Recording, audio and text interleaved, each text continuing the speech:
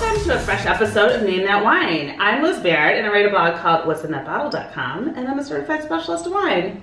And I'm Liz's co-host, Rob Frisch, writer of the award-winning wine blog oddbacchus.com. And today we're doing viewer questions. Viewer questions! We love answering people's questions. We do. Today, Melissa McLemore Bramhall, who I happen to have gone to college with, hello Missy, um, comes to us from Houston, I believe, with a question.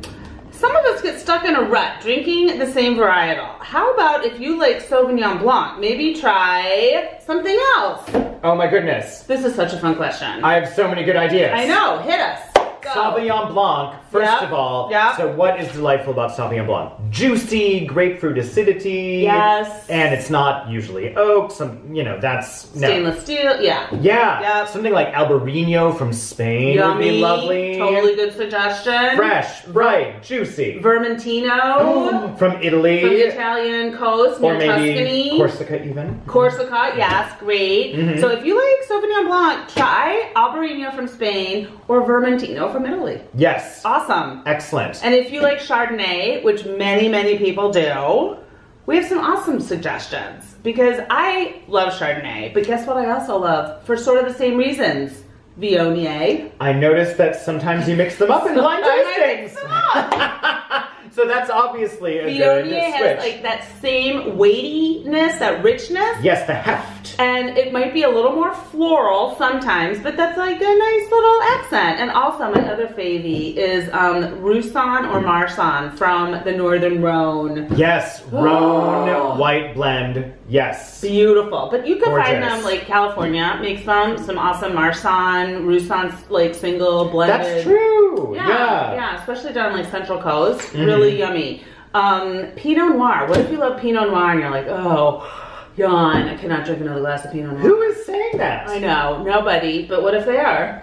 Hmm. Hmm. Beaujolais. Oh, Beaujolais. Beaujolais. Yeah, maybe not like the heftiest Beaujolais, but Right. like a Beaujolais Village, for A example. Village, which is the Gamay grape. It's a lighter, easy drinking red. Yeah.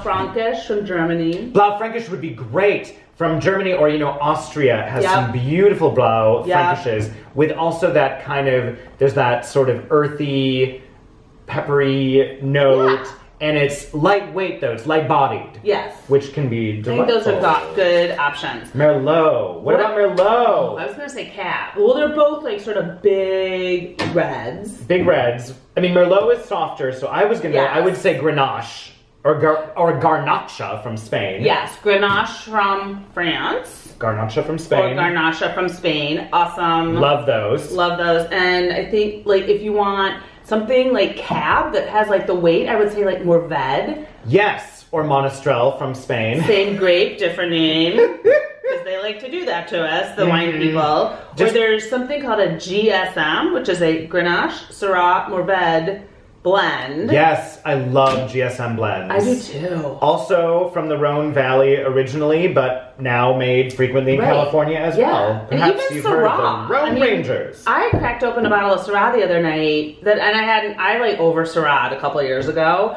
and I opened a bottle the other night, and it was divine. It was big and rich and juicy.